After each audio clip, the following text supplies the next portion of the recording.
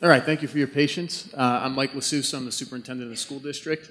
Um, I'm just going to go through a brief presentation regarding some of the uh, updates and changes concerning the referendum. Uh, I'm not going to start from scratch and, uh, and rehash uh, what's been presented before or what is posted on our uh, website, but just kind of give an update and overview of where we are right now. And then um, the board will come back on stage and we'll open up the discussion. Um, so, uh, as probably everyone in this room knows, there are six projects that are currently um, included in the referendum uh, scheduled for April. Uh, we've got the renovation of this auditorium that we're seated in right now, uh, the conversion of the middle school auditorium into other kinds of spaces, uh, construction of a new middle school auditorium, uh, construction of six additional elementary classrooms throughout the districts, district rather, and then upgrades to two of our field um, field complexes, one behind the high school here, and then the other down at Cougar Field. Uh, so I'll start with the renovation of the auditorium. The uh, changes since the last presentation in November uh, are that we have um, confirmed that we are going to include in the renovation of this uh, facility uh, a new roofing a new roofing system, as well as a new HVAC system. And we also learned uh, just today we got notification from the state that this portion of the referendum will be eligible for debt service or debt relief. Uh, and what that means is that the state will offset uh, some of the cost of the debt uh, associated with the referendum or with the project.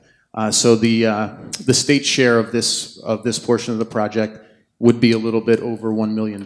So that was good news that we got today. In terms of the middle school auditorium and converting that into classroom space and um, professional office space, uh, the, the cost there is about $3.4 million. We also were notified today that that project will be eligible for debt relief as well. Uh, and that's all portions of that project, both the classrooms uh, and the, uh, the professional office space. More good news. Uh, and this is just a rough uh, sketch, a rough drawing of what that internal uh, space would look like. You can see that on the current uh, stage of the auditorium, we have about three robotics or computer labs. Uh, then we'd have office areas uh, sort of in the middle of, of where the current auditorium is. and then a flexible classroom that we could use in district and also could open up to um, uh, you know, other groups in the evening, like the adult school, uh, for use. That's the, that's the site that I labeled media classroom. The new auditorium, uh, since our last presentation, uh, the board and the administration have worked with our architects who are here with us tonight uh, and will be up on stage to help us answer questions uh, to reduce the size of that auditorium from about a little over 1,100 or 1,150 seats to about 975, uh, which still would accommodate our middle school population within about five years once the, the bubble that's exiting Lafayette comes through. Uh, that resulted in a reduction in total cost uh, uh of about $10.8 million. Uh, this is just a site of where the new auditorium would be built. That currently is the, uh, the circle, the field in the, in the circle in the front of the building and another preliminary uh, rough sketch of what the, the seating layout would look like, um, subject to modification uh, if the referendum were to pass.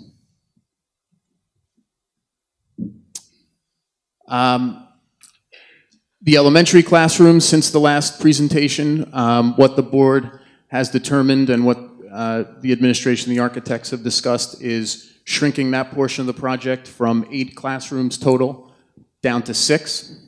The six classrooms would be built at Washington Avenue School and at Milton Avenue School.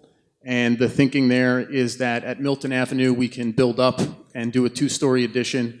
Uh, it's the cheapest in terms of uh, square footage of the three elementary buildings that we have in the district.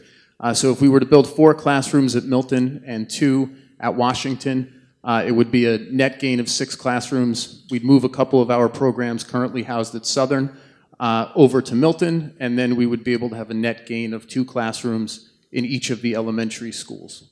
Uh, we also learned that, that uh, a portion of those projects also qualified for uh, state debt relief, uh, totaling about $400,000. Uh, So this is Washington Avenue. Um, And you can see that uh, if you're familiar with that building, uh, there's a a kind of like a back wing if you go through the main entrance. And if you were to go straight down the hallway, uh, past the all-purpose room and and hang a right, uh, the addition would be put on uh, right at the end of that uh, wing. Over at Milton, uh, it's kind of the opposite. If you walk into Milton Avenue School and go toward your left, you just walk, walk down to the end of the hall. We already have two stories on Milton Avenue School, so that would be a two-story addition at the end of that um, hallway to your left. Uh, in terms of Cougar Field, uh, there has not been any change since the, the last meeting. Uh, Cougar Field is um, targeted for a number of improvements or uh, replacement of, of various items such as bleachers and fencing and so forth. Uh, and there is a, uh crushed stone path that we've included in this plan that could be used for walking or running.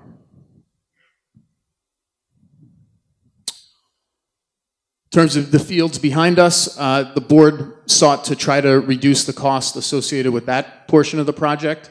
And the thinking there was to um, not turf the entire uh, property or the entire field, uh, but instead look to turf primarily the varsity baseball field, uh, and then situate a multi-purpose field in the outfield, and then leave the remaining portion of the, the field as natural grass. And the architects, of course, can speak to why that's a little bit less costly to do than to turf the whole field. Uh, But the estimate then has, has shrunk down a little bit to $3 million. Uh, And if you were to look at the, the site or a preliminary sketch of what that would look like, there are two baseball fields. You can see uh, that is this- the same uh, situation as the current two baseball fields. And then there's a rectangle there that shows the multipurpose field in the uh, right and center field of the varsity baseball field. Uh, So as of uh, now, uh, again, this is a a little bit different than uh, when we were uh, meeting in November.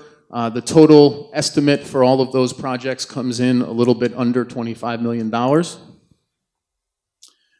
If you look at the state um, debt service numbers that we got today, then the net tax impact is reduced further. That comes down to slightly below $22 million.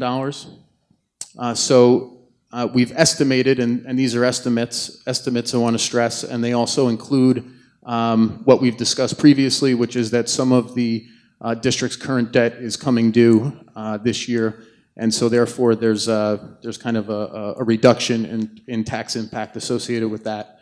Uh, but per hundred thousand dollars of home value, we have the uh, uh, the figures posted here. Again, the estimates.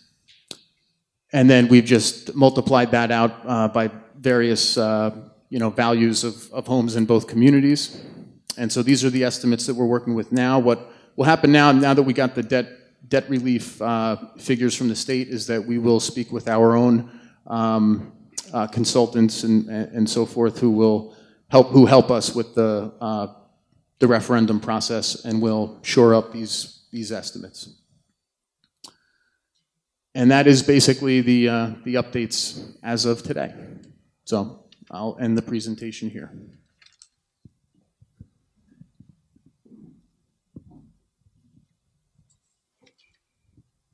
Yes, and our business administrator is just reminding us that as you uh, come up to ask your questions or, um, or give your feedback, you could just sign in uh, on the, the sheet there that's on the, the little desk next to the microphone.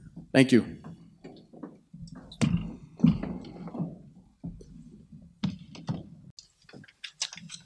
Okay, with that, we're going to move on to the public commentary section, which is going to be focused on the, the referendum and any comments in terms of what's changed since our last um, meeting whereby we have taken the number down from in the 28 plus million dollar range down to below 25 million, and then as a, a net basis, a tax basis, the impact being less than 22 million dollars. Uh, we are going to limit the comments to um, three minutes. Uh, we are going to keep time up here, so we are going to try to keep that to a very strict regimen. Uh, we do um, would like for this meeting to be done by uh, 9 p.m. tonight. Um, with that, make sure when you come up, please sign in, state your name and where you live, and then ask your questions and direct them to um, the board.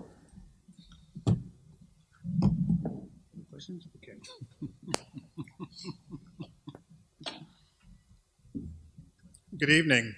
Len Resto, 35 Center Street in the Borough. First, I'd like to uh, congratulate uh, Chair Belding for a wonderful job that he's done for two years. It's provided great leadership, and it's very much appreciated. Um, I come here to, you know, ask questions, but certainly to let you know that the proposed uh, Performing Arts Center at the middle school, I think, is something that is premature. Um, I think that with the availability locally of the Performing Arts Center in Newark, which they would make available at any time upon request, the uh, Millburn Playhouse, the Morristown uh, Community Playhouse, um, even the Chatham Playhouse, that we have multiple opportunities to use those rather than to spend money at this time uh, to build. You know, and arguably, Chatham does have the best schools in this state. But the one thing we have to keep in mind is that we need to have the best schools that money can afford, not the best schools that money can buy.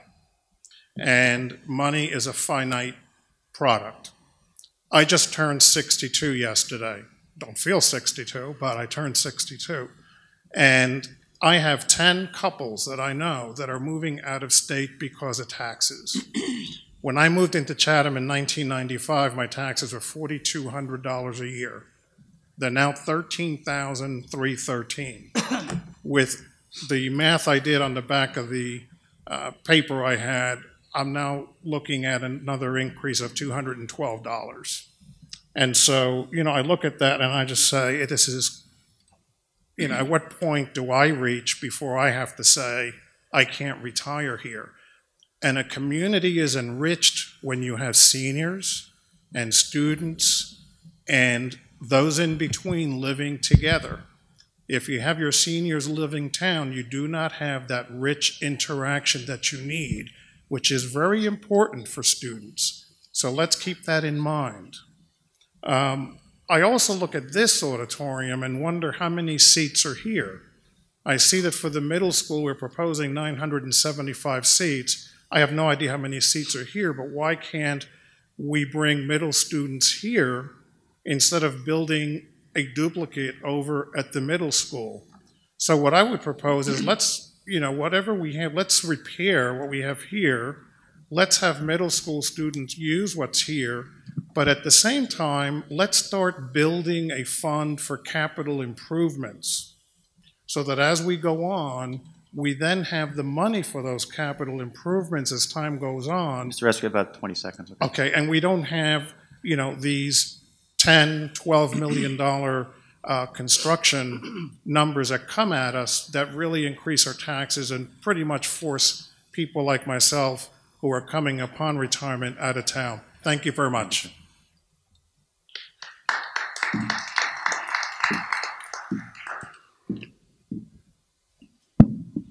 Hi, my name is, wow, my name is Sal Larnick. I live in the township, 37 Hall Road. I have uh, three children who've gone through the system. One is still in high school, and two of them are in college. Two of my children were very involved in performing arts. Um, I should also tell you I'm president of the uh, co-president of the Chatham Music and Theater Boosters. Two of my kids were very involved in music, performing arts, acting, and one was very involved in athletics. I applaud all of you for taking such a balanced approach because too often performing arts and drama is put to the wayside. It's always the laggard, and it's unfortunate because these, act, these actions not only improve our students in science and math and their performance in the regular, uh, you know, three R's, reading, writing, and arithmetic, uh, but they teach our children to communicate and look people in the eye. It gives them confidence. It gives them leadership. It makes young men and women who are leaders and world changers as opposed to worker bees. So uh, I applaud you for, uh, for taking care of performing arts in this proposal. Secondly, I respect everything that the gentleman uh, prior to me talked about and the challenge it is for seniors.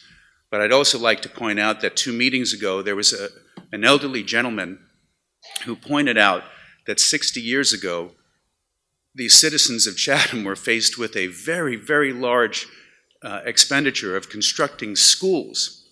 And these guys, their kids were done. They were through the system, and they choose to invest in the children of the future. They didn't treat it as a cost, they treated it as an investment. And here we are today, and we're being placed in the same position as those of a greater generation and asked to make a sacrifice. And the sacrifice, 200 bucks a year, of course no one wants to pay more taxes, but if you break it down, it's a, it's a cup of Starbucks a week. So if you think about it, a cup of Starbucks a week to give our children this balanced referendum, athletic fields, performing arts facilities, um, I, would, I would like people to consider thinking, it, thinking of it in that way. Thank you very much. Thank you, Mr. Arnuk. I just wanted to um, answer a couple of Mr. Resto's questions, uh, if I could, and of course, board members can jump in too. But uh, there are about 700 seats in this uh, auditorium. Um, we, we believe that we're at a point where we have to make investments in both auditoriums. We need two auditoriums uh, in the district. We need one at the middle school, um, as we currently have one. Uh, but that that building, that facility is in need of repair. It's 70 years old. Uh, it hasn't had any material investment in 70 years. Everything in it is original. Uh, it doesn't have uh, even in a, a, a uh, an air conditioning system, and uh, the, the, the flooring is original asbestos tile flooring. Uh, so we need to, to invest in that facility no matter what. Um, our intention has been over the last number of years to try to avoid going out to the voters and asking for uh, more money, uh, knowing how supportive this community is. And we have built up our capital reserve accounts. And that is the way that we funded the uh, pretty significant expansion of the high school right behind us. We, we are just completing 11 classrooms uh, because of the enrollment that we have in the district now. Uh, and what's happened is that we have, over the course of time, with such significant enrollment growth, We've invested in classroom space primarily, also library and media center spaces, and then thirdly, athletic facilities. And we've kind of kicked the can down the road a little bit when it comes to the performing arts. And we think that we're at a point now where we have to make those investments because the facilities that we're using uh, are just not in uh, the condition that is commensurate with the kinds of programs uh, that we run. Uh, so our intention, of course, is to continue to, or to, to, rebuild our capital reserve accounts now that we're finished building at the high school and we think we can handle district enrollment. Um, but certainly we also believe that the, the two facilities, this one and the one at the middle school, are in need of repair now. Just to augment, just to augment those comments, uh, the the ability that we have to develop or build a capital reserve fund is very limited because of the fact that the state restricts our, um, our surplus per year uh, or our buffer per year to, to 2%. And uh, it's only from that that, that these other construction projects that, we, that Mike cited have been able to be done without a referendum. But the type of capital expenditure that we're looking at here is way beyond what we could possibly accumulate through our annual surpluses. Nancy Geyer, 7 Inwood Road. Thank you for allowing us the opportunity to express our views on this potential referendum. And also thank you for having the Board of Ed meetings recorded with information published on how and where to view these nightly meetings. After reviewing the last meeting on January 12th on my television and reviewing the overview of the 2015 referendum projects, I noted the reduction of seats in the Chatham Middle School auditorium. In a seemingly arbitrary effort to reduce the amount of the referendum, the seating capacity would be reduced from 1,100 to 975, with a savings of about $1 million. Some closing remarks I'd like to make. This is not a substantial savings. Would you tell us how you arrived at the 975 seating capacity And why would you build an auditorium costing roughly $10 million that would not even seat the current Chatham Middle School population of 993 students? In light of the fact of all the nuances and complexities, uncertainties and necessities of this referendum, it is my recommendation that the questions for each project be listed separately and let each voter decide on what is feasible for theirs and our tax dollars. It seems unjust for the board to consolidate all questions and eliminate any decisions of the voter by making such a large, complex issue into one question. Thank you.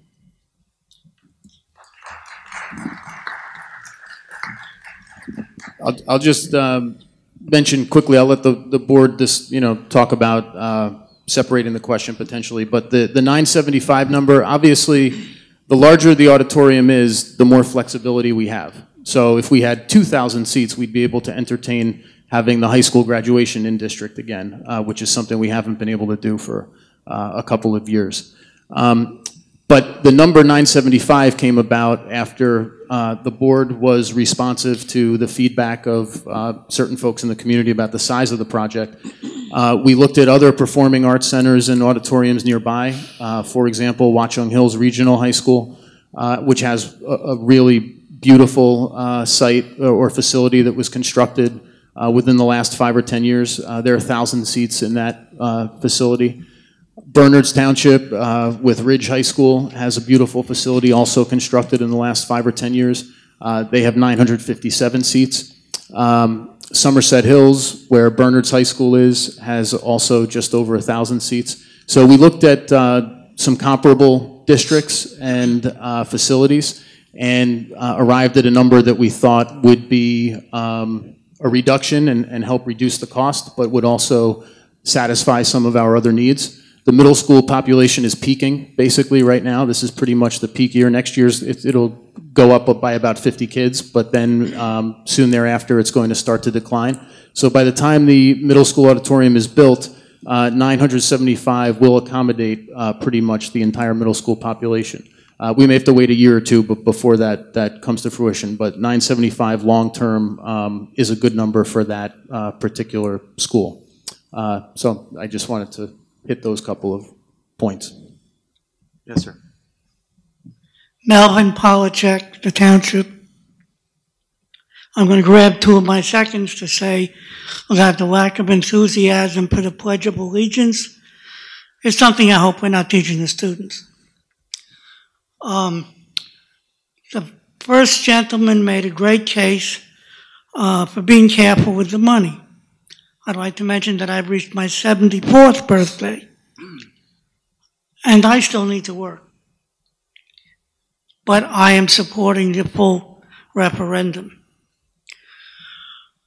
The case was made very eloquently for all the problems upon older people, people facing retirement, the tremendous increase in the tax burden. But the gentleman chose to attack the performing arts and nothing else, which implies a value judgment. The performing arts is not as important as people banging into each other on the football field or jumping high to throw a ball through a hoop, all of which are very valuable things for the culture of our town and our country, but they're not more valuable than the performing arts. I don't know if you've ever had the opportunity to walk into a rehearsal hall where perhaps the orchestra or the band or the chorus, by the time they get to high school and have had several years under their belt, how they carry themselves, how they talk to each other. These are children, by the time they're young teenagers, a vast accomplishment. That accomplishment will carry them through the rest of their lives, whether they have a musical or an artistic career or not. Come and have to stand before an audience and speak. If you've been on stage 10 or 20 times, you're going to have an easier time and be more eloquent. really doesn't matter how many touchdowns you scored if you're asked to make a pitch for money or to pr- promote a project at your place of business. You will have good stories to tell at lunchtime with the guys. I was not an athlete. I played a little bit of intramural, and I've got three or four war stories that I tell at lunch with the guys. So that's an important part of our lives. I've got grandchildren who are athletes, scholars, actors, 30 seconds, sir. musicians, and I don't want them to lose any of those opportunities. Thank you. Thank you, sir. Ma'am. Hello, my name is Helena Axelrod, 41 Coleman Avenue West in the borough. Um, and I just want to say that I don't think this is the retired people versus the people who have, you know, kids in the schools. This is all really about what can we afford and how can we be smart about how we spend our money. Um, I know my taxes have gone up $300 a year for the last four years. And 200 or whatever it's going to be on top of that is actually a very significant number. I'm not against performing arts. I'm not against sports. I think they're important in addition to the academic curriculum. Uh, my son was involved in all of these. Um, however, I think that we, we shouldn't get too extravagant with our plans. Now, the two auditoriums need some fixing up. Fine, I, I don't, I don't have a problem with that. To build a whole new building with a new auditorium really seems to be incredibly excessive to me. Um, I know part of the reason is that you want to relocate the offices of the Board of Education. I can understand the reasons for that. You want to be more central. There's commercial space in town. Uh, I don't see why valuable real estate in a school should be used for that purpose. Uh, that shouldn't be a reason for uh, remodeling completely the, uh, the auditorium in the middle school. Um, regarding additional computer labs, I'm really surprised that you need computer labs anymore. Nobody uses a desktop computer. Everybody's got laptops. You can do everything remotely. You can do everything through online.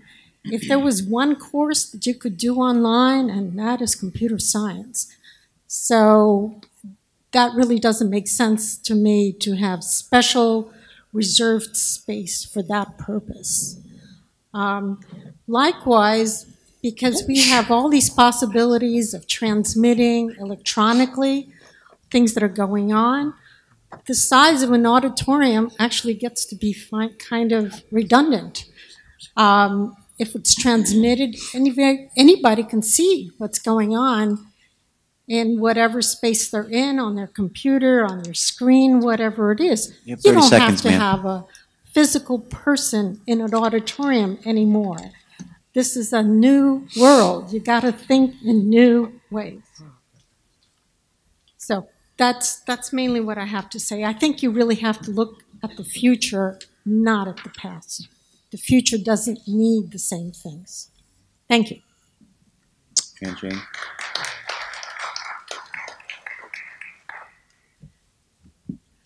You're up. Hi.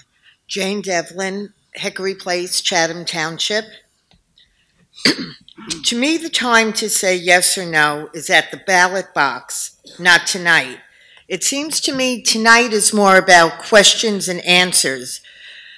Um, so moving forward, that's what I would like to speak about. I think all these improvements are long overdue. I don't think the board is being arbitrary about this. I think they are acting in direct response to requests and needs that have been identified throughout the years in the Chatham community and the Chatham schools, and they're now just defining this is probably the best time to act. I would like to ask the board to please clarify what is meant by a performing arts center. because I think maybe people are thinking of it like the Watchung Center or the Mayo Performing Arts. I'm interpreting it a little more like the student body auditorium. So, so maybe if we all just understood a little better how it would differ from a outside performing arts center, that might help um, help with understanding. And I would also like to ask my second question, if we're shaving some money off the original proposal, how much are we actually saving? And are we being kind of penny wise and dollar foolish? Yes, we want to save the money, but if this is the best time to make all the improvements and to do it right the first way, does it really make sense to just save a little bit of money and, and maybe not do it as um, ideally envisioned? So the two questions are to clarify about Performing Arts Center in the hopes of maybe allaying some of the concerns of what that means, and to talk a little bit about how sensible it is to save a few pennies on a dollar. Thank you. Well, I'd like to, on, on one, the, as we hear and we've heard a, num- a number of public comments, is that uh, every dollar matters to a lot of people. So what we've done is taken down the numbers whereby we can achieve what we're looking to do in all these different projects at the lowest amount of dollars. So we, um, we were cognizant for everybody, uh, but we do need and feel across this board, since of our support of it, that we do need to make these investments, but we've made these investments at figures as low as possible, yet achieving the highest yield for what we're looking to do.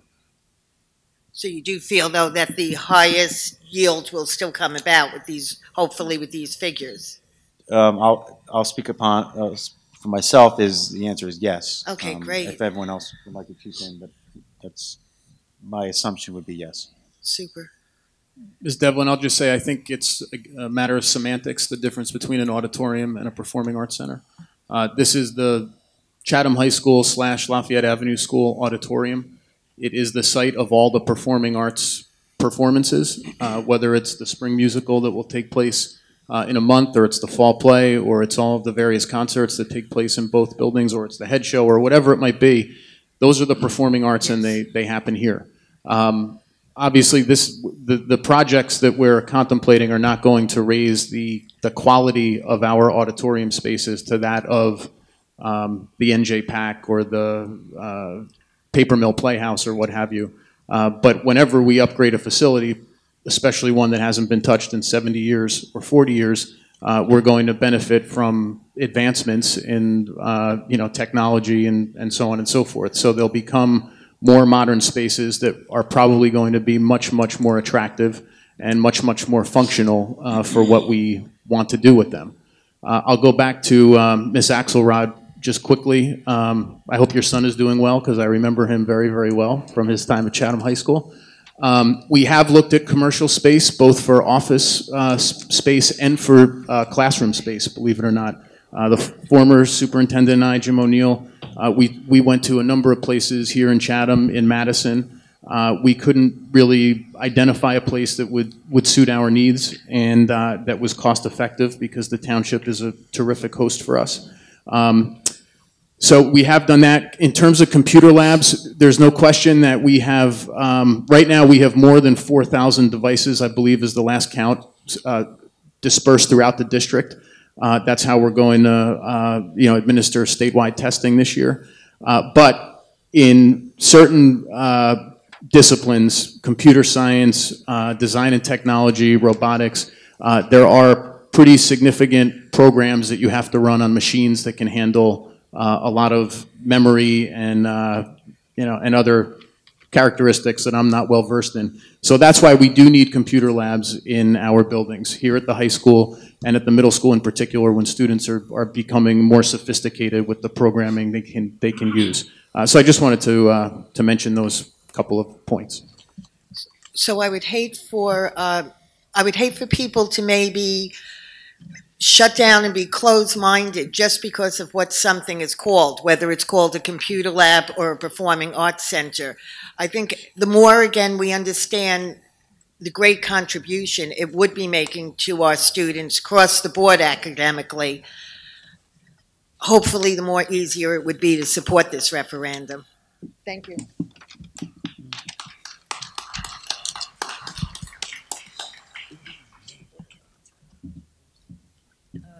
Hilsenrath, 37 Weston Avenue. Um, Can you hear better? I'd like to thank the board uh, for holding these special referendum meetings, and I just have a few brief comments on procedure. First, the board said at its last meeting that if the base budget um, doesn't pass, the rest of the questions wouldn't pass either. According to the NJSBA, this is not the case. If the base budget fails, the votes on questions that follow stand as is. They're not interdependent, so there's no procedural reason that the board can't break the referendum out into as many questions as it wants. So I'd like to say again that I feel the board should allow each item on the referendum to stand on its own merit, be listed separately, and let the voters decide. Second, the board stated in its FAQs that if the referendum were to fail, they would possibly di- divert funds from the operating budget. This is in direct conflict with NJSBA policy, which says if voters reject a second question, the school board cannot transfer funds from within the budget to retain the program. Operating budget dollars cannot be used to fund any referendum projects if they fail. They're separate questions on the ballot. I think we all agree that both of the auditoriums are in disrepair and need to be fixed. I'm not sure why, over 40 and 60 years, we haven't made better use of our maintenance dollars and allowed these facilities to deteriorate to this level.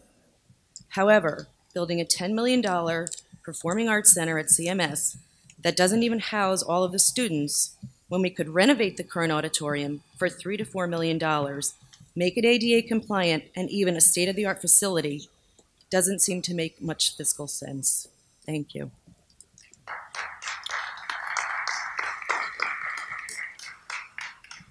I think um, you were mistaken. My last comment, you slightly misquoted. The base budget and the second and third and fourth questions are independent of each other. My position was on the, when you add multiple second questions, they are linear. Each is dependent on the previous. So if the, you know, first of the second questions fails, the second and third question will not be implemented. And so the base budget is on its own. That would be con- considered the first question. And every question after that, second, third, fourth question. The other comment is the, Can I just follow up on that? Um, question number one on the ballot is always the base budget. that's right? the base budget. Okay.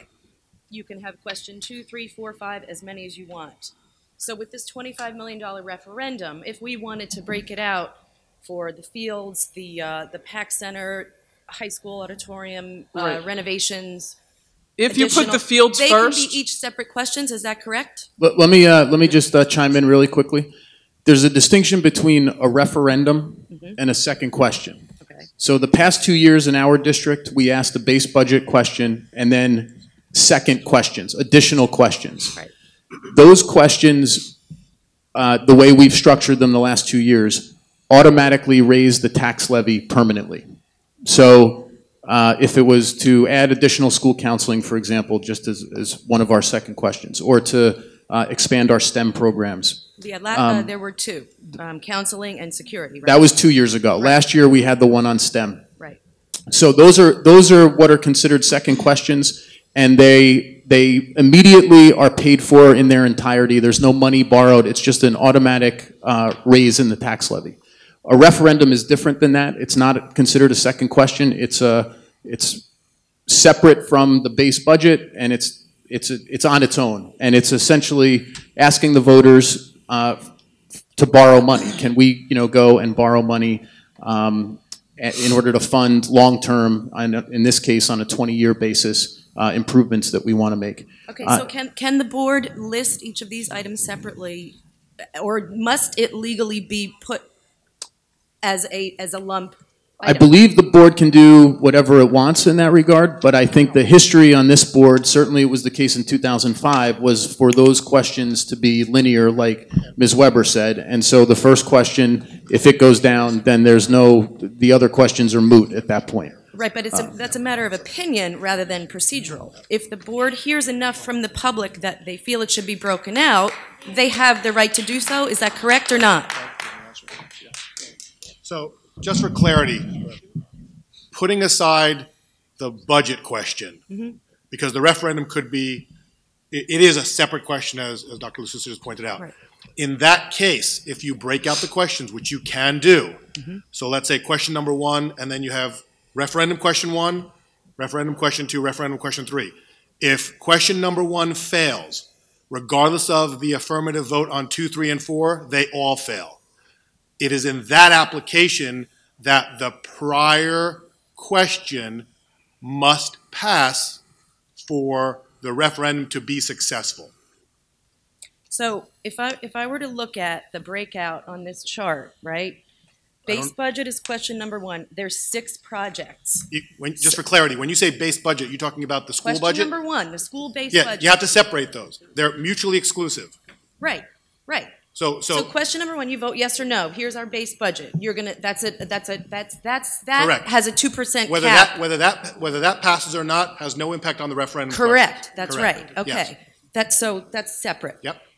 These six projects on this chart, can they each be listed separately and voted on separately, outside of the base budget, outside of question number one? They could, but what I'm saying is, in that case, if you break them out to two questions or to six questions, Mm-hmm.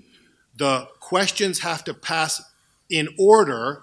Otherwise, if the first, let's just hypothetically say that the, um, the new auditorium. is question one. Which auditorium? The, the new- new PAC auditorium at the middle school. Okay, Yep. Let's just say that's question one. okay, And questions two through six are the rest of the projects. uh-huh. If question one fails, then regardless of the affirmative vote on questions two through six, the entire referendum fails. You can't pick and choose the questions that you pass. They have to be connected to how you lay out the questions and what order they're placed in. But what, do- that, That, so you can't, you can't turf fields because you don't want to build an auditorium? Like, I It, don't. well, I I just gave you the example of what order they're in. If you put the turf field first, and that passed, and the auditorium was the last question, and it failed, then all the questions ahead of it that passed could. But what I'm suggesting to you is that the way the statute and the, the, the referendum question presentation is created, that they are connected to the So, questions prior. If it, if it's. We're going to have to wrap it up, so if you can make this your last follow-up question. I mean, they're linear. Uh, Is it, is there, can, can they be listed as something besides a referendum? Were there different rules that would apply if you don't call it a referendum? I mean, I know you're raising funds, but. No, sorry. So, so there is no option to break this out then? You can't, you, the voters can't decide? It's not an Is optimum that, option. that's what you're saying, right? If it were optimum, we would have chosen that, but we've decided that the optimum option to let the voters decide on the one question is to go with one So question. it cannot be broken out, am I, is that correct or not? Again, it's linear, so it's not an optimum solution, because if the first one fails, the rest of the projects are now no, are now moot. We can't, we need to move on. Can we get the next speaker? We've already, we're at 10 minutes on this. Thanks. Julia Callahan, 53 Tallmadge Avenue. I wanted to start by publicly thanking Mr. Heap and the Chatham JCs for funding the broadcast of the Board of Ed meetings through April.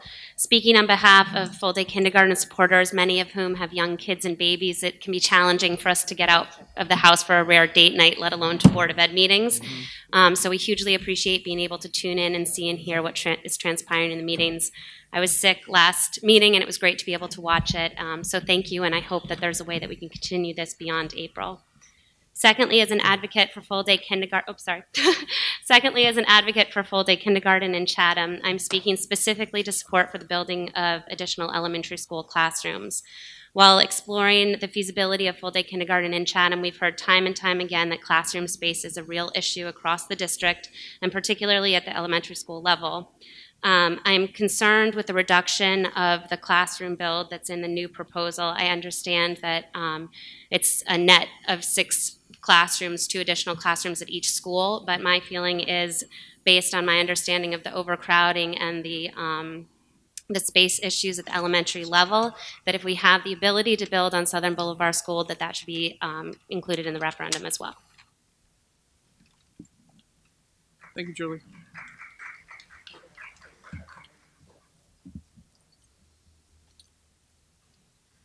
Uh, Joyce Martinson from Chatham Borough.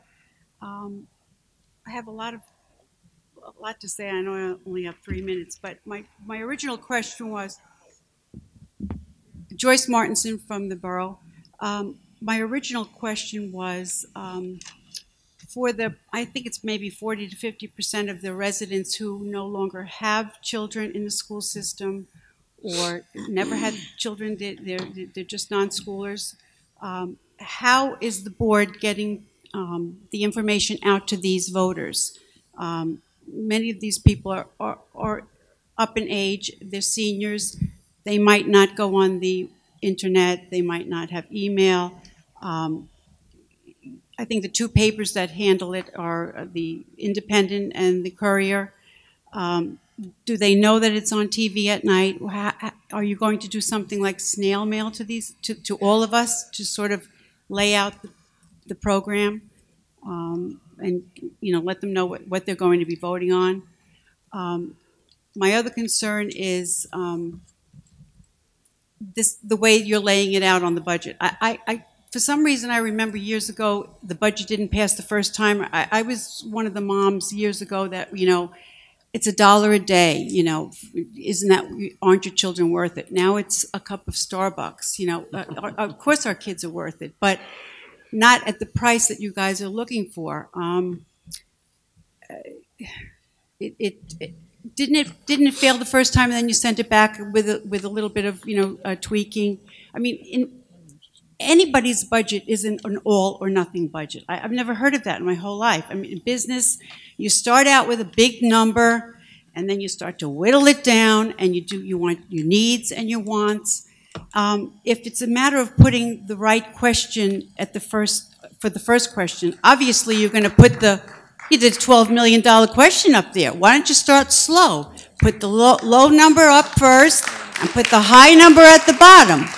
And then we can get all the little ticks off, and at the bottom we just will decide. I mean, it, it's and and all due respect to the gentleman that talked about the the Performing Arts Center, you call it the auditorium, you call it the Performing Arts Center. What is it? Is it you know, is it you're going to market it for the the uh, uh, the Performing Arts Center for the people who want it? You're going to you're marketing it the auditorium for the, for the people that don't understand twelve million dollars. I, I just, it's, it just, you know, it doesn't seem to be. 15 uh, seconds. Right, you know, it, it just, it's not, I'm not swallowing it. I'm not going to drink the Kool-Aid. You know, it's just, not, it's not, it's, it's really not right. Um, with all due respect to the gentleman who talked about the performing arts, performing arts are not seats in an auditorium. And if you have a 500 or a 1,000, you know, performing arts you could up. programs are what you need, not the seats. You got Broadway that has, you know, the seats there from, you know, 1918. You know, you can't even fit in them. Do they change them? No, they just have Time's more up. If you could performances. summarize, if you could summarize. So I just really feel that, number one, everyone in the borough and the township has got to know what they're going to vote on, and you can't rely on the internet or the web. You have to send it out in the mail, list it, and I would really suggest you put the the lowest, you know, uh, project to the highest, because that's ridiculous. You- You're you're stacking the deck, and I, and I, and we know it, okay? Thank you.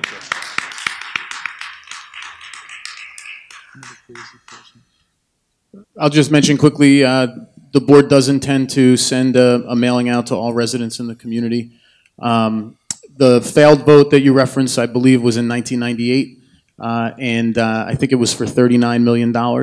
And then the board came back the following year in 1999, uh, the board at the time, with a scaled down version uh, that uh, resulted in, a, I think, a $25 million, if I'm not mistaken, uh, referendum. But at the same time, that one of the reasons we're building behind the high school now is that we didn't, you know, get enough classrooms out of that original referendum. Brian McCullough, 40 Lum Avenue in the borough. Uh, first up, I want to say amen to the last uh, speaker that we had here. That was uh, right on. She stole my thunder. But um, I have a daughter who is currently uh, a theater major at Fordham at Lincoln Center. And uh, I will tell you that the, the big auditorium they have there is less than what you have right here. Um, they also have a black box theater, which is tiny. And there are plenty of, of small theaters and black box theaters throughout New York City that are thriving. You don't, it's not the space as much as it is the program, which she said something about the program too. Um, we had a budget for two and a half million dollars to renovate this auditorium, as I figure. And I know that Summit uh, redid theirs for a million and a half. I really don't understand the reason that we should have some other monstrosity built out in front of here. It's not necessary. It's not about the place that you're doing it. It's what's being taught. It's what's the experience.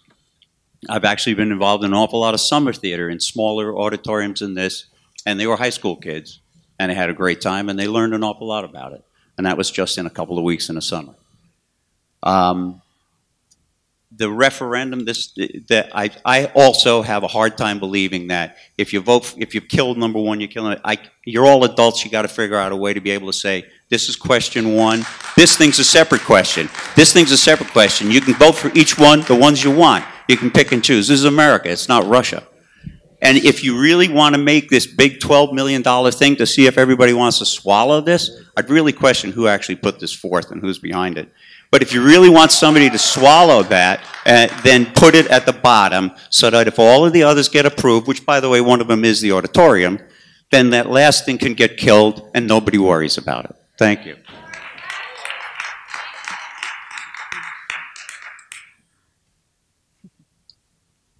Good evening. My name is Stuart Carr at 3 Crestwood Drive in Chatham. First, a couple of procedural items. Uh, kudos to Mr. Belding again, reiterating what everybody has said. And I want to thank the board for having these extra sessions, particularly Mr. Nanamacher and Mr. Uh, uh, Connors for taking a run at that and keeping people informed that uh, we do want to have these sessions. Thank you, too, for uh, uh, piping up on that.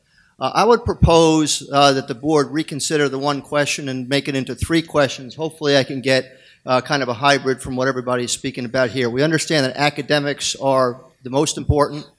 I would argue that the performing arts, athlete notwithstanding, performing arts are second most important, and athletics are third most important, all of which are important.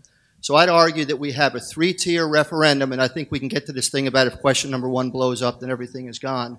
The first piece would be all of the things that we're doing with the classrooms and renovations, i.e. Cougar Field, renovate this facility, renovate Chatham Middle School, uh, stay over at um, uh, 58 Meyersville Road. That would be question one, whatever that amount is.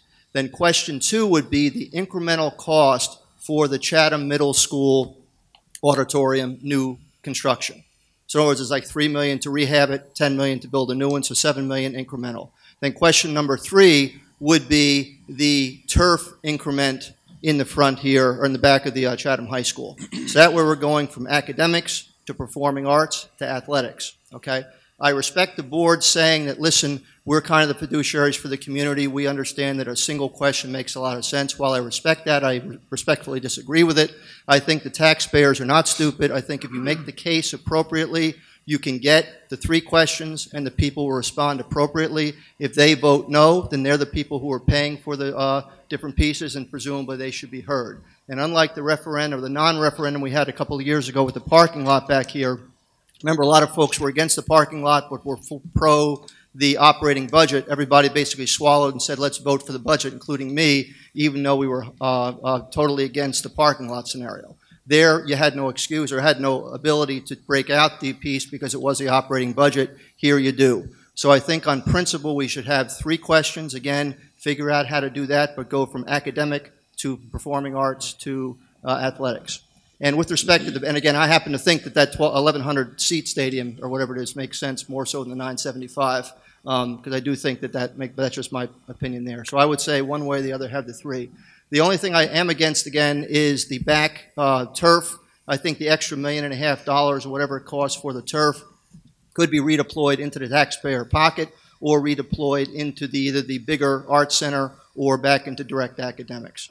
So I think, again, Uh, we can get a good grass field, do it the right way. I had an unscientific poll here about 30 schools, all in Morris, uh, Essex, and Hudson counties. Montville High School, and I think Randolph are the only ones that have a turf baseball field. So I think in terms of having extra turf, that's probably a little bit into the uh, luxury as opposed to the need to. For baseball folks, and again, I'm a baseball person long term, so I'm kind of speaking against myself. If you need the help in the early spring, you can go to Cougar Field, you can go to Lum Field, and really get your infield in earlier in the year. And if we do it right in the back, you can get substantial drainage. Grass field is terrific for Asheville aesthetics and I think it's also terrific for purposes of playing ball. Thank you, So Mr. again, Barr. thank you for your time, and again, I do appreciate these extra uh, sessions. Thank you, Mr. Farr.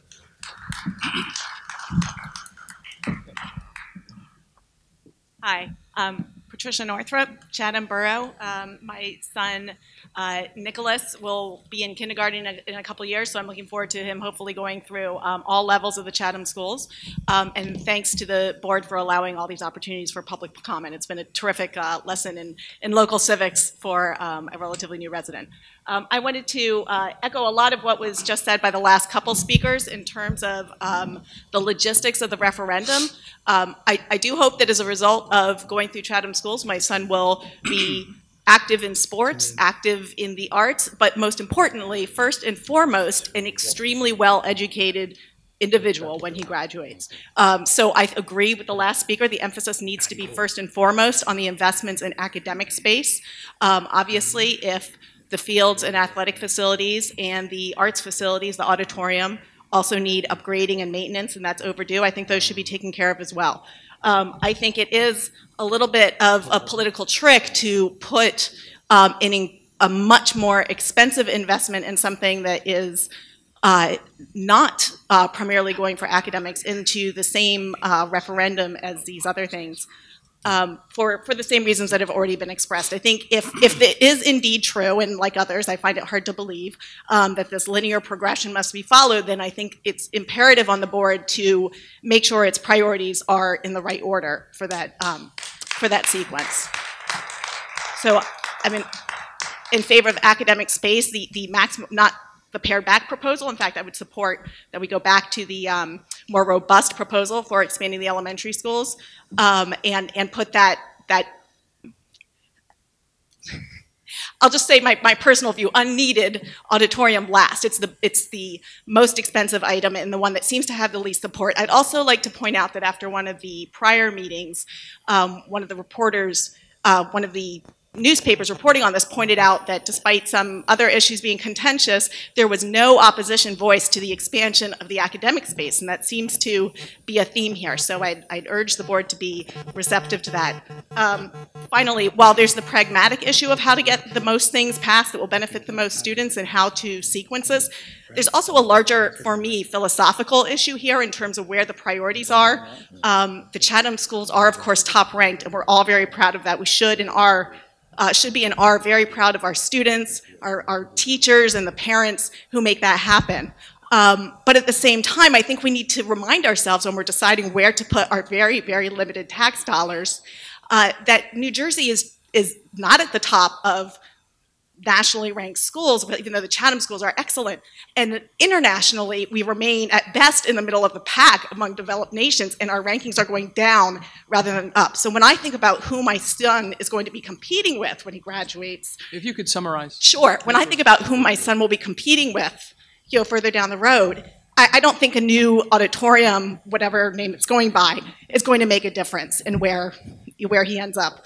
Um, so I, I encourage the board to stay focused on the academics and maintaining existing facilities rather than investing in something that we don't need. Thank you.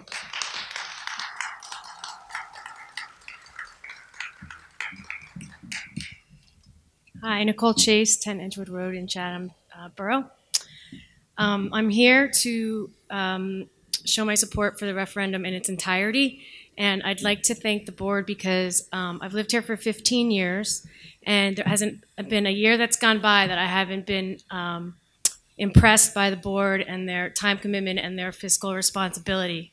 I think that you've taken us through some very difficult fiscal years over the last 15 years, including about um, six years ago, I was uh, president of Washington Avenue PTO, and the Board of Ed lost, um, the board, no, the board of uh, yeah, the board of ed in Chatham lost 80% of its state aid funding, and somehow the board managed to pull it together and still um, present, you know, a great educational opportunity with all of that funding gone from the state. So um, I believe you. I think that when you show the, the the PowerPoint presentation as to why this is the best time to try to make these improvements in Chatham, I think that you've earned my um, you've earned my approval. Um, and I'd like to take one step further and just say in particular about the auditorium. I'd like to paint a picture over the last 15 years of what I've gone through in the Chatham public school system. Um, I moved here right before I started my family. I've been through all, all the schools now. I've been through Washington, Lafayette, middle school, and I, we just started at the high school. And I think when you have my perspective and you know, maybe um, if you're not in the public school system yet, you don't realize it, and maybe when you're out of the public school system, you don't realize it yet. So I'd just like to tell you very briefly my experience. Um, when I started here with toddlers, I remember walking into this space for some kind of a meeting and being disappointed that it was aged and it just, wasn't inspiring at all as a space. And I thought, wow, I heard so much about the Chatham School District, and this is the auditorium, this is it. Then we went through um, Washington Avenue School. They had a musical performance where the children um, practiced for seven months, and we're only allowed to invite two guests because there was no space for them to perform their show. We get to Lafayette, and the parents are lined up and down the fire fire escape stairs um, to watch concerts because there's no room to accommodate the growing student population. Then we get to the middle school, and they have to separate the um, the band with the orchestra concerts because there's not enough space to, for everybody to enjoy the performances. You have um, sixth, seventh, and eighth graders who are so proud to have solos, and you can't hear their solos because the sound system doesn't work. Then um, you know, we get here and there's duct tape holding seats together. You can't fit, you can't accommodate the growing population of this town. And I'm very proud that we have such a high ranking academically. And um, I know academics is first, but I consider an auditorium um, kind of like a microcosm of the whole of the whole town, the whole school. It's where people come together. It accommodates grades K through 12. Am I out of time? No, no, you, I was just going to Oh. say if you could summarize. That's it. I, I just think an auditorium accommodates grades three to grades K through 12 and beyond. Um, it's for participants as well as performers, as well as for speakers that come from out of town. And I trust your judgment that this is the time to keep up with our um, the quality of education that we're used to. Thank you. Thank you, Ms. Chase.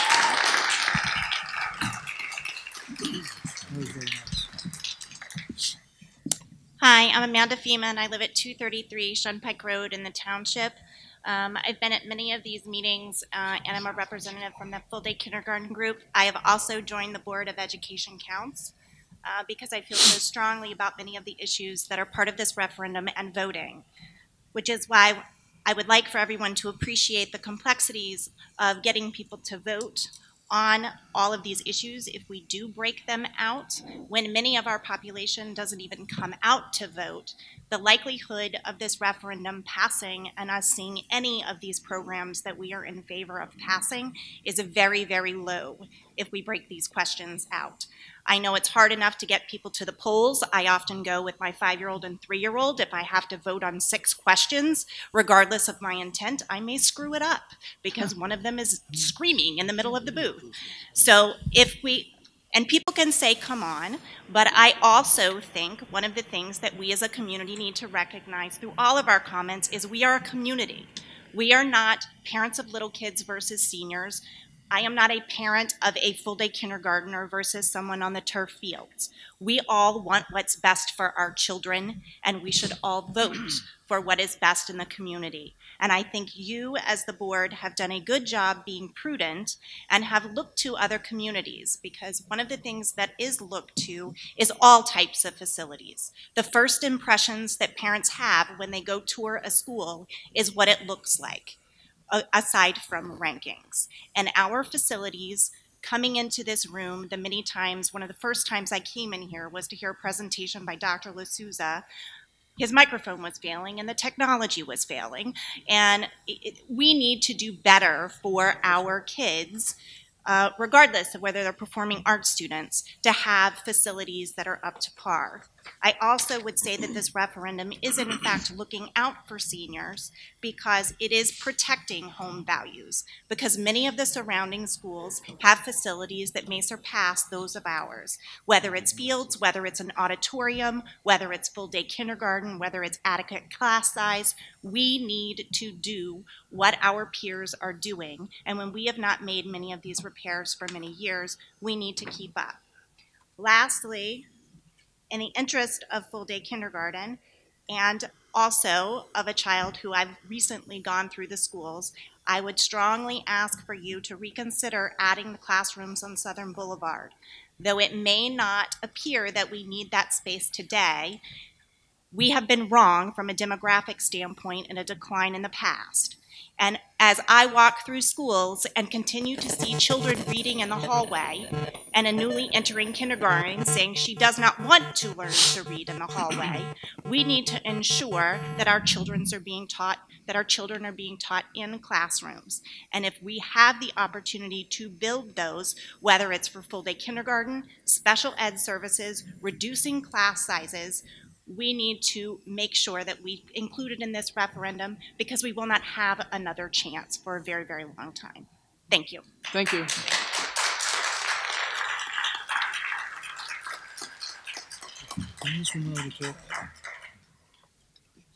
Donna Callie Charles, Chatham Borough.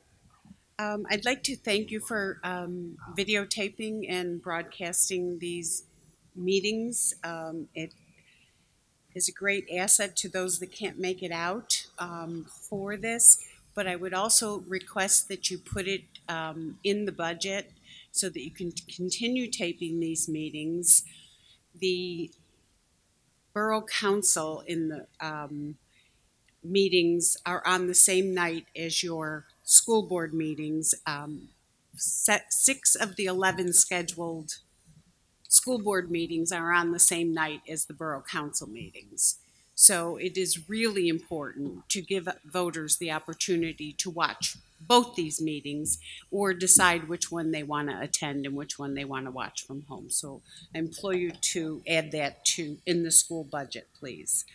Um, there's been talk that there's bonds that are being paid off, and so we will uh, we will have extra money from that. Why is that not included in and taken off this bottom line? Uh, as of tonight, you got that the the possible referendum down to twenty one million nine hundred and thirty two.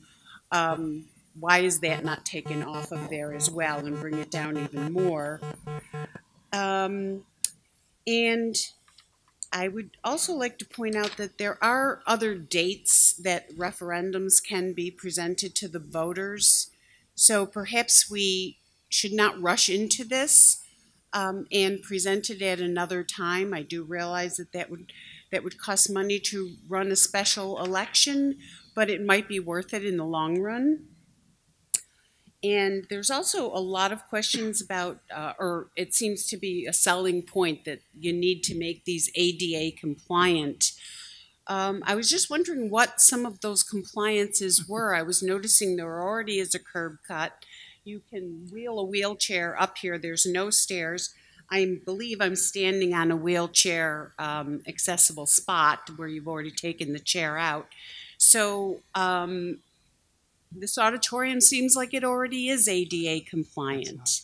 And I'm a big advocate for making things ADA compliant, but it seems like it's a big selling point that doesn't really hold true. We already are ADA compliant. Um, and just, I also would like to see the referendums, the questions separated so that we can vote on um, what we feel is important an important use of our tax dollars. Thank you.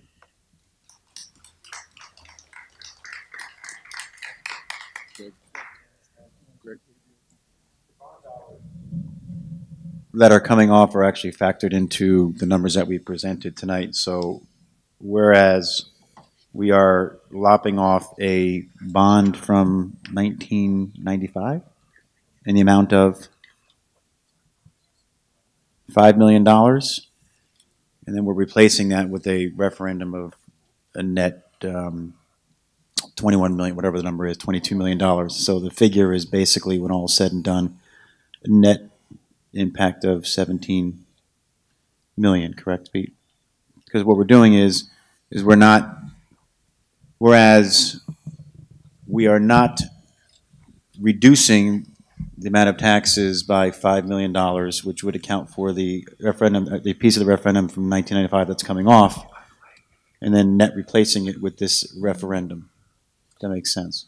Just to clarify, the bond that is coming mature, when it matures, would be approximately the same time that the new bonds would be added. So there is a, uh, a net effect. So the net effect of the bond that comes off has been offset against the cost of the new bond. So in, instead of asking us to approve almost twenty-two million dollars, you can take 5 million off of that because, Can't do that. so in, in actuality, then we are the No, what- twenty-two plus Even as a five? matter of fact, we actually have to ask for the twenty-four million, nine hundred and eighty-eight thousand, even though the net tax impact is gonna be less than twenty-two million dollars. So whereas we have to ask for that figure, the net figure, the actual figure in terms of your tax impact is, um, once you net out debt relief from the state. Okay, so, but actually, you're really spending that five million dollars more than what you have to ask for because it's a, that's a credit Mm. that will be there. What are you gonna do with that money? No, it's, um, I like to sit down with you with a piece of paper and I, I'll walk you through it. It's probably a little bit easier than trying to do it verbally. I think a lot of people What- would like to know rather than just me. What, ha- what happens is if you want to try to put it in simple terms, Sure. if you have an existing mortgage on your house that has a 20-year loan, Mhm. you then, when you're in year 19, you take a home equity loan. Your mortgage becomes paid off in year one of your home equity loan, but you continue to pay your home equity loan. So what happens is when the, when the taxpayers approve a bond referendum, they agree to pay the debt of the referendum for the term, in this case, 20 years. So the township and the borough, exclusive of the school budget, continues to fund the amount due on the referendum. What will happen when the 1995 bond matures, the township and borough will need less money to pay that debt. It, however, will, if the taxpayers approve, have to fund the new debt. So basically, that comes out of the taxpayer. If for some ungodly reason the district decided to close its doors, the township and the borough would still have to pay the referendum debt. The referendum debt, once it's passed, continues on until the term of the bonds are finalized. So in essence, you are adding five million dollars to this twenty-two million dollar figure. No, we are not. The figure as presented is 24.8 million, not including the debt service. That is the amount that will be requested in bonding.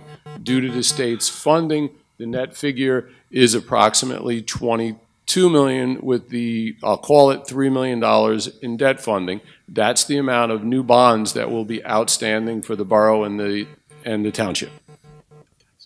The tax, the tax impact gets, the tax impact of the new bonds gets slightly offset and lowered because the township of the maturing bond, then the town can direct, the towns can direct that funding towards the new bond or towards the, the new debt.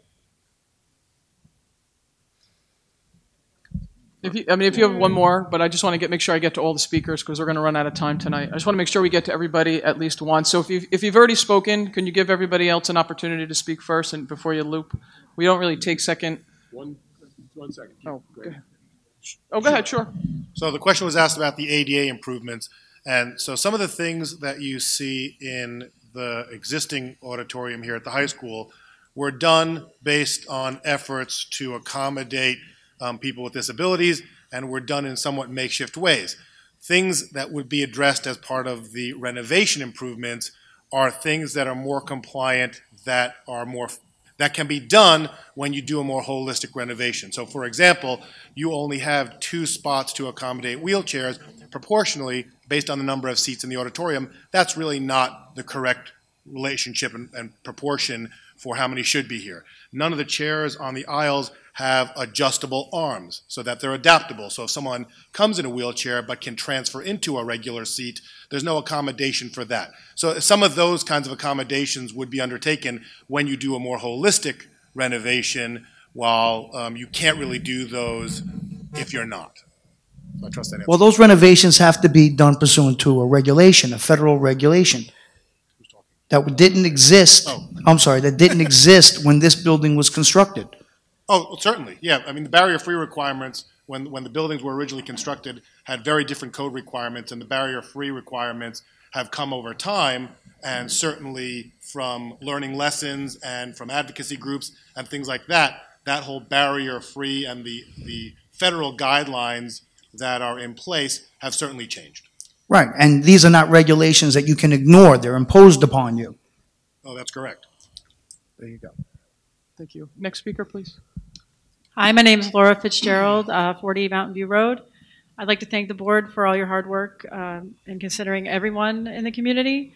Um, my special interest is uh, the elementary schools. I think I would like you to reconsider the addition at Southern Boulevard.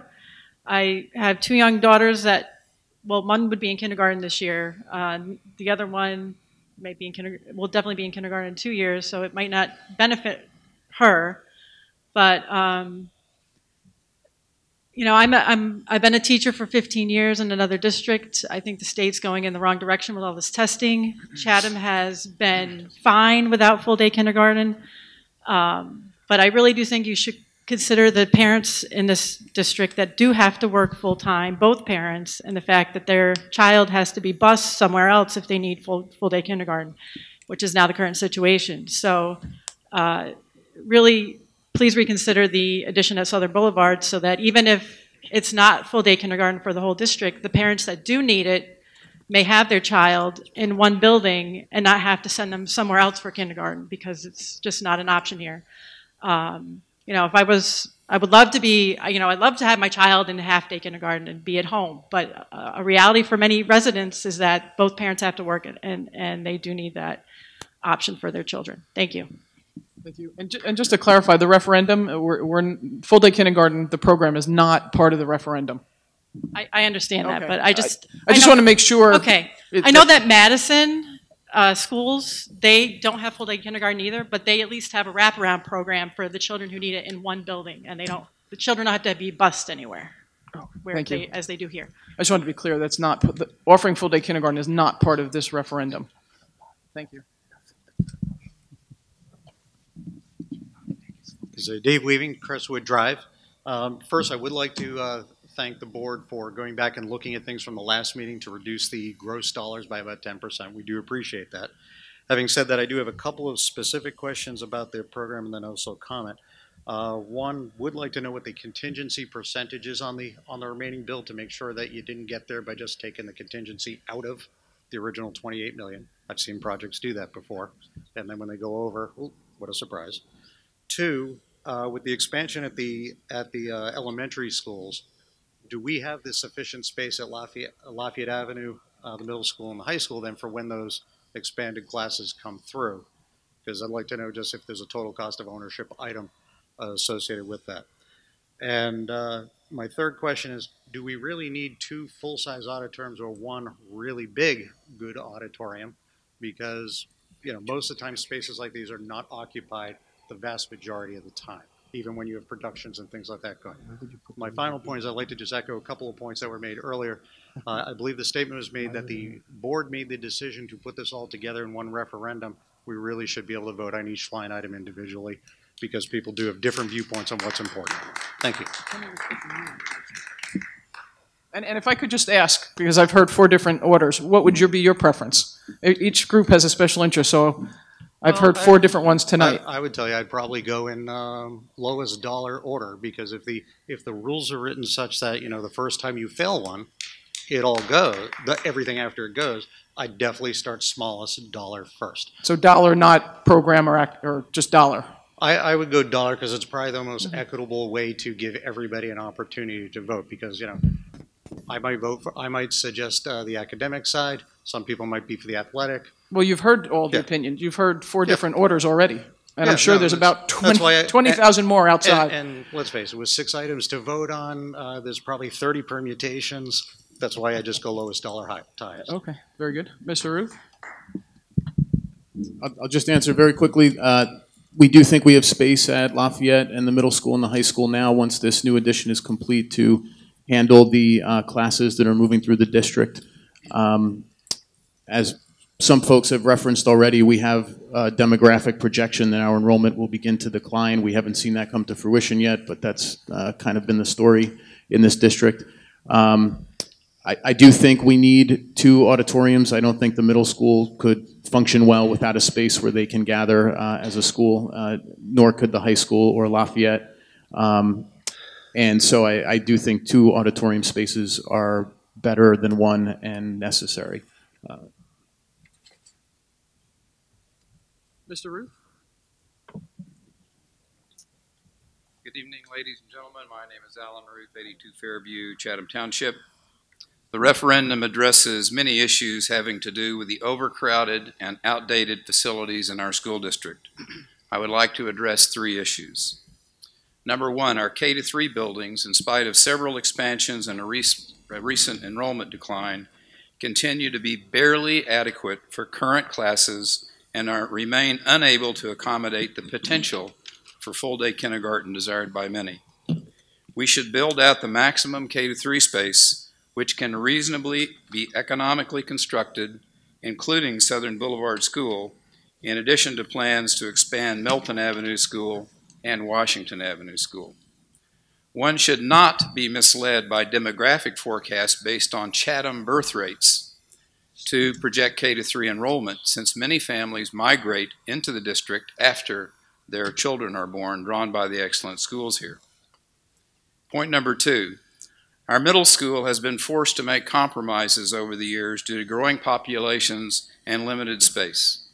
Eliminating shop classes, computer and STEM labs, and cramming a growing population into an undersized and outdated auditorium, which is out of compliance with current Americans with Disabilities Act or ADA regulations. The referendum adds back space, some of this space, by replacing the existing auditorium with classrooms and STEM workspaces, and provides the opportunity to move district administration from a remote location to one integrated with the school.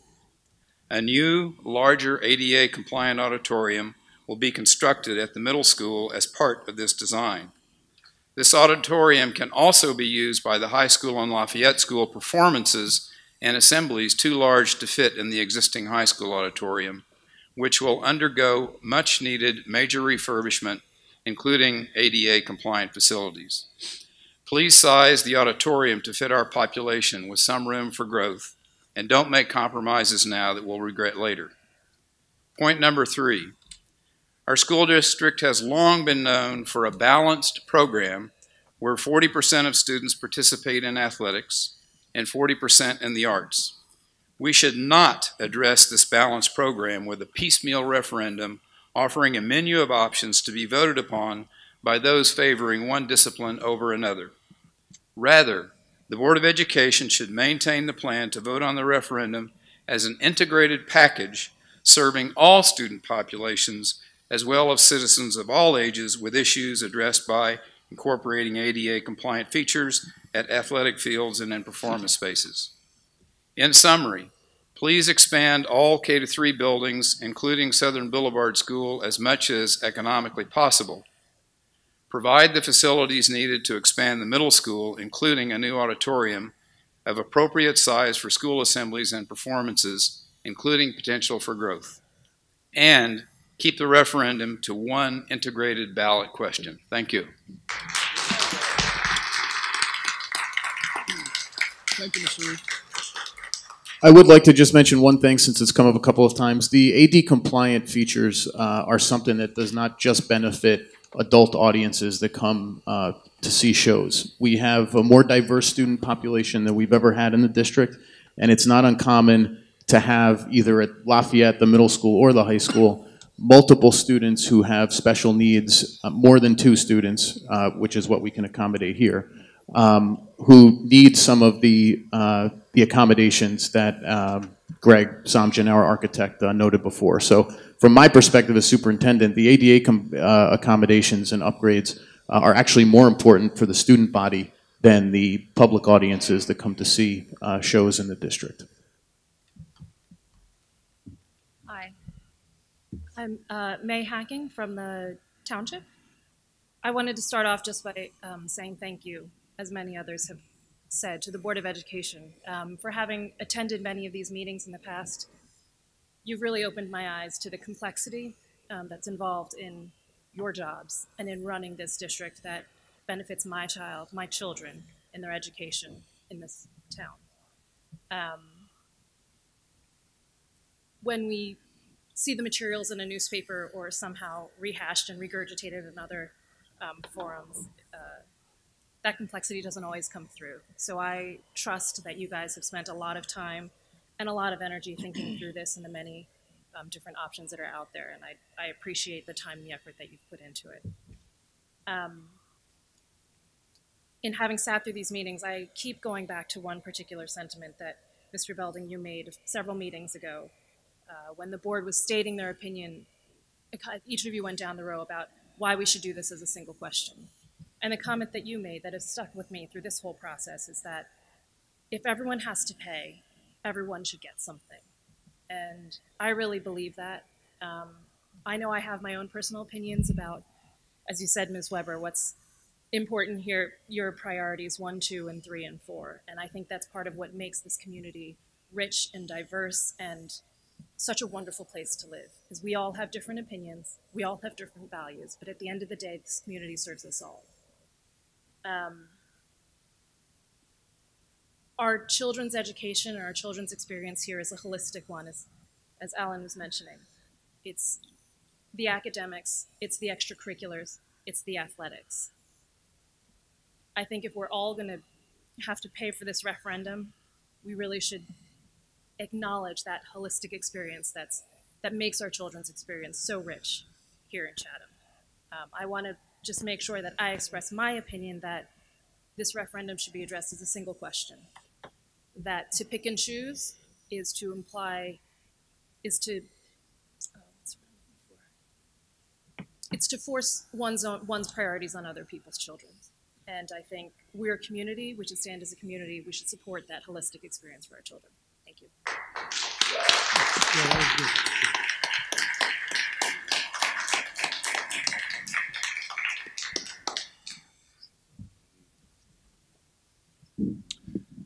Good evening. Uh, Bill Heap, Hillside Avenue in the uh, borough. Uh, thanks to all the board for coming out and uh, listening to all of us. I know you'd rather be doing something else. Um, I have a question for you. Um, New Jersey is a fiscal basket case, and I think I'm being charitable when I say that. We're not responsible for that, by the way. And I get that. You, you won't be taken out and shot for All that. Um, but everybody knows the headlines. Uh, Atlantic City has fallen off a cliff. Um, the financial services industry is not going to provide the juice that it once was, especially in this neighborhood. We have a General Motors sized pension problem. The state is losing population. Uh, Mr. Christie is running for president, so he had wildly optimistic projections, but the uh, tax receipts were way under uh, what the expectations were. Uh, Mercedes just got up and blew out of town and took a thousand jobs with them. Uh, we are going to be affected by that somehow. Stephen Sweeney has stated that the, the uh, state is not going to be in a position to help municipalities with their budgets. So my question is this. What kind of level of confidence do you have that we will be getting any money toward this referendum on a kind of a 1 to 10 uh, scale, 10 being perfectly confident and 1 no money at all? Can, can, can you give us some idea of what that might be? Money from, I'm sorry. Money from the, So- there, so- there's Oh, from money the- forthcoming from the Okay. state, You're talking about the state, the, the, the State debt aid. service aid. Well, as part of the referendum, are, Yeah, so- aren't we? Yep. So, so, so just to clarify the way debt service aid works, you're not getting a cash check. What the state is committing to is paying your principal and interest on the debt that you're borrowing in the amount that they've committed in their final eligible cost letter over the period that you're borrowing the money. So um, I wish I could tell you whether or not they're going to make this commitment for eternity to every district that ever has borrowed money.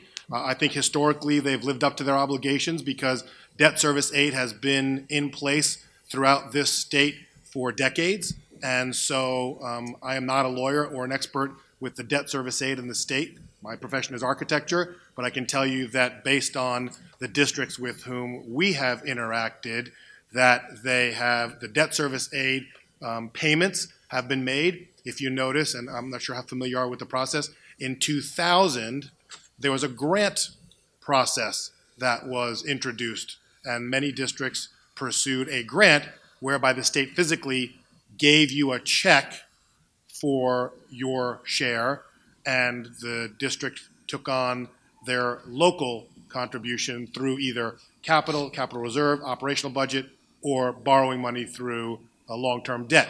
Debt service aid is different. It's not a cash check up front. They're committing to paying back principal and interest over the life of the bond. And to the best of my knowledge, uh, and again, I can't speak to it more than just based on the experiences I have with some other districts, to the best of my knowledge, the state has lived up to um, the obligations of debt service aid. And again, making adjustments uh, along the way, I'm sure, as it relates to whatever discussions they have with districts about uh, money and, and other things. But to the best of my knowledge. That amount can vary, though, depending on how much they have. I'm sure it could. I'm sure it could. But I, I, I you know, I'm not Because it seems to me that Chatham is going to be last on anybody's list to get any kind of aid uh, uh, going forward. It, it's just this, the fiscal, the fiscal situation in the state is, is pretty drastic. I think this is a pretty well-read community, and most people would be shocked to find out that New Jersey has the lowest, or the second lowest bond rating in the country. Only Illinois is less. So my point is that, that um, maybe there's money coming and maybe there's not. I'm just kind of trying to get a feel whether you think that uh, there will be some forthcoming or not. I I think it's a fair concern, and from what I've seen, it- payments have been made. Okay. I, I agree. It's a fair point, Mr. Heap. I just mentioned too. I know Ms. Chase made mention this. We lost 87% of our aid the, the, the first year Governor Christie was in office, and there isn't an expectation on our end that we're ever going to get back to the level that we were at in 2010. so in some own. ways, we, we've we've tried to pursue through another state program called ROD grants, uh, where we get 40% of certain projects funded by the state, essentially. Um, in some ways, this is almost a surer bet, albeit not 100% sure, uh, that we will get some sort of assistance from the state since we're not getting any assistance in the regular school aid formula. Mhm. Okay, thank you. Thank you, Mr. Heap.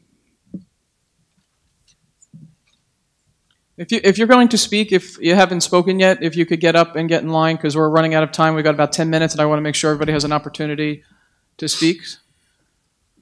Sorry. Thank you. Hi, I'm Kathy Jenkinson. I'm in the Green Village section of the township for the last 15 years. And I uh, agree with everything that's been said. Thank you very much for the board for everything you've done. I do have a couple of questions. One is to deal with the, the proposed elementary school classroom additions. What exactly will those rooms be used for? I've been at Washington Avenue School. I know they don't have a music room. They sit on the stage and they ha- have music class, and the curtains need to be closed sometimes when the multipurpose room is used.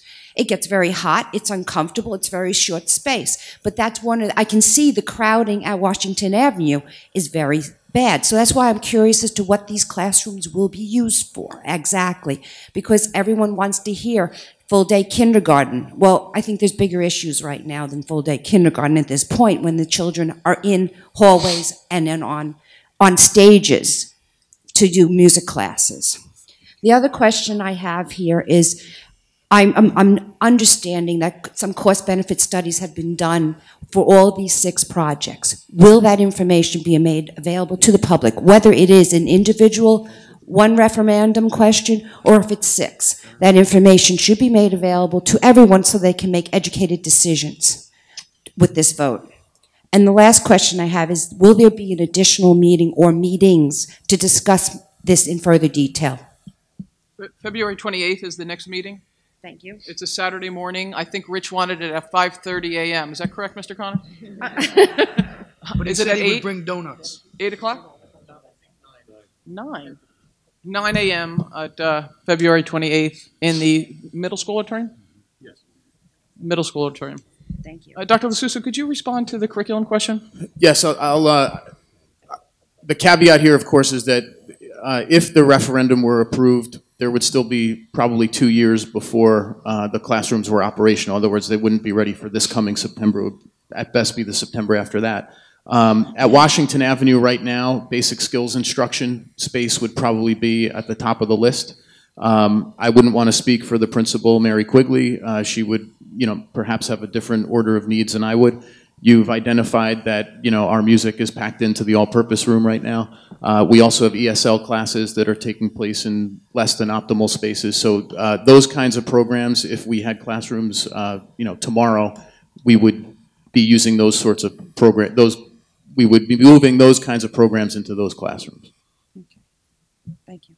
And what about uh, cost-benefit studies to be ava- made available? We, we have put up a, um, a web page on the district website that's dedicated to all of the documents and files that we have regarding the referendum. There is some of that up there now, and we continue to add to it as we make further progress uh, as, and move forward. Okay, thank you. And just to clarify, the February 28th, 9 o'clock was 9 a.m. It was intentionally done on, on a morning. It's a Saturday morning. Yeah, good evening, Nabil Moulin, 131 Southern Boulevard. Uh, thank you, all of you, for all the work you're doing for on behalf of our kids. Thank you, Mr. Belden, for all the service.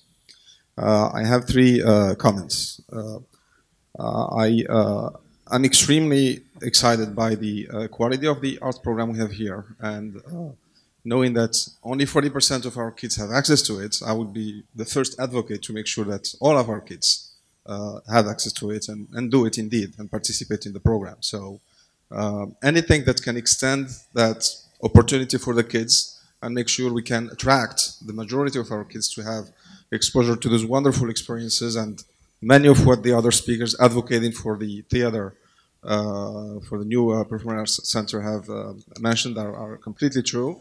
Uh, I'll do my best to get my kids also involved, and uh, that would be wonderful. However, what provides those experiences is not the building. It's the teacher, it's the program, it's the curriculum. Uh, to, the, uh, to that point, uh, we have observed that in the last program of study, there is an addition of a half-year class for theater. That's wonderful. And I think that's really what, from my perspective, we should be emphasizing my kids get involved, or any of our kids get involved, whether they uh, perform in front of 700 people or 975 people, I don't think their own learning experience is going to be any different. So, by all means, keep, maintain, develop our arts program, uh, but I question whether it's the investment in the buildings that will make that experience uh, uh the most valuable. My second point is for the uh, format of the referendum. Uh, two years ago, uh, we had discussions about a few items, additional counselors, language teachers, Uh, that was put forth to the public. And the discussion was, well, should it be part of the budget or should it be put as additional questions? And there is some unanimous consensus that, well, let the people choose. Make it additional questions, and if they want it, they'll pay for it. And I think that's, pe people understand, and uh, uh, it makes a lot of sense it happened that people chose to pay for those, and you know we're taking about the cost and the benefits of that. Uh, last year, same thing. There were people advocating for increased in STEM investment, and the board position was we can we won't put it on the base budget. We'll put it as an additional question and let the people choose. Go and advocate and educate. I think the, this is no different. This referendum should, as much as the legalities allow, allow the people, yes, to pick and choose uh, what they think is uh, the most appropriate. Uh, the school administration does a great job highlighting the needs. The Board of Education uh, does a great job uh, moderating and overseeing that, but it is our choice to decide whether those are the things that we want or not. That's the my point there. My, my third question is having. If you could summarize third. Yeah, my, my last point. Thank you, Nabil. Sure having uh, uh, attended many of these uh, meetings, we see year after year uh, projects coming through because they're probably needed and the uh, justification for them is, is, is, is certainly uh, there. Uh, sometimes they draw on the capital reserves. Two years ago, we got money uh, used to do the expansion of the high school. Uh, last year, we got 1.5 million of the, the capital reserves uh, uh, for the fields and some renovation in the in the in the in the middle school. At none of those occasions did we sit down and say, okay, what's coming ahead of us five years from now? I, I, I have a hard time believing that two, three years ago, we did not see this thing coming. So I think all these pleads, and you see the reaction from the community, we, we should have a process that allows the community as a whole to get engaged and involved in the decisions for our school districts in a term that is reasonable. Make it three years, make it five years. New Providence is going through that. Sit down, gather the community, and have a plan that's beyond next year. Uh, Millburn did it last year, Please- so please, Nabil, summarize. That, that's, that You're was at- my you're at six point. minutes. So thank you very much. All right, thank you. Thank you, everybody. Thank you for coming out. Are there any additional speakers, or is this our final speaker? Because you, I, any new speakers, this is, this will be our final, but typically we don't like duping around because otherwise we'd be here all night. Is there anybody else that hasn't spoken that is feeling compelled or thinking about thinking about it? Mrs. Mortensen, if you would be brief, I'd appreciate it. I just felt it important to speak on behalf of this, the seniors in the, in the town. I know a woman on the other side mentioned that everyone prospers by uh, increased taxes uh, because the value of the house is, is great when they sell. The seniors that stay here, many of them don't want to sell. They want to be able to afford to live in this town.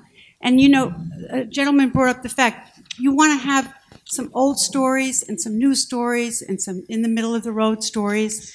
And these seniors, you know, they're going to sell their house when they when they die and leave the money to the kids. Many of them that, that that's not that's not the point.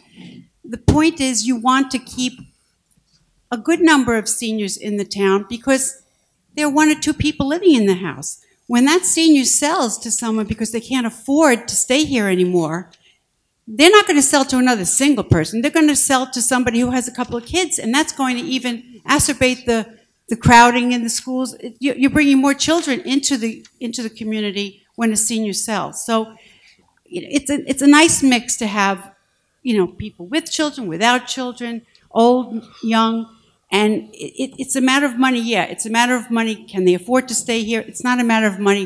What kind of a killing they're going to make on selling their house? So I just, you know, I just feel that that was, Thank you. you know, that that was inappropriate. Yeah. Thank, you very much. We are very sensitive to the senior citizens, as the most of the community likes a nice homogeneous community. Thank you, everybody, for coming out. We really appreciate it. We appreciate the input. Um, we'll go back again, crunch some numbers, talk amongst ourselves. Again, though, next showing, February 28th, 9 a.m., Chatham Middle School. So if you weren't able to make this, and if there's any additional senior citizens, it's, it's at 9, so it's during the day, so hopefully they can make that meeting as well. Thank you, everybody. Have a great night. Drive safely.